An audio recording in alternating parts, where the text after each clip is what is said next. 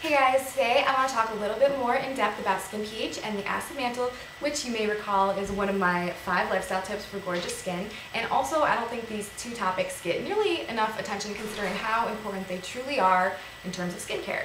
So what is pH? Um, it's really nothing more than a measuring system for comparing the strengths of acids and bases.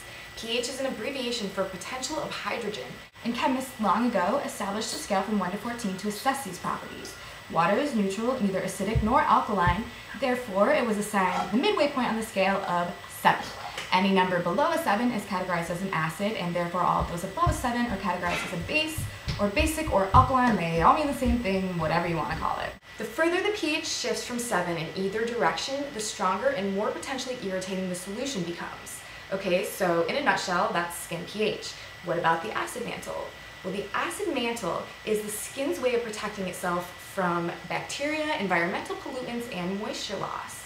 The acid mantle is made up of sebum, which is the natural oil that our body produces, and sweat, and dead skin cells, yummy. It has to be acidic in nature in order to prevent all of those harmful contaminants which are alkaline from penetrating and damaging the layers of skin.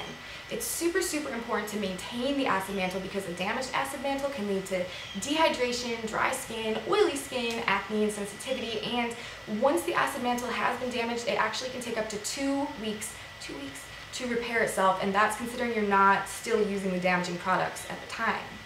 Skin with a healthy acid mantle has a pH of between 4.6 and 5.5.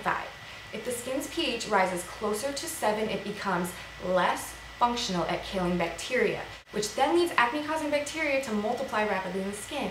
As the acne bacteria multiply, the skin can't keep up with their growth, which leads to more and more breakouts.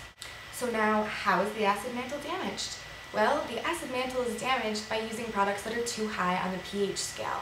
Many commercial cleansers are highly alkaline, usually close to an 8, but some can even be as high as ammonia, which is 11, which is like ridiculous. Um, when you're using a damaging cleanser, it changes the pH of your skin for a short time, usually about 20 minutes or so until your skin can recover. But if you're continuing to use these damaging products, it can prevent your skin from maintaining the necessary pH levels, leading to long-term and continuous cycles of damage. So what can you do about it? I would never want to be the bringer of knowledge without providing um, some solutions. And I have to say at Lewis & Love, um, Skin pH and the Acid Mantle are one of my focal points in product development. And I've already created an amazing non-damaging facial cleanser that utilizes colloidal silver in combination with a few different acids to achieve a completely cleansing yet non-damaging product.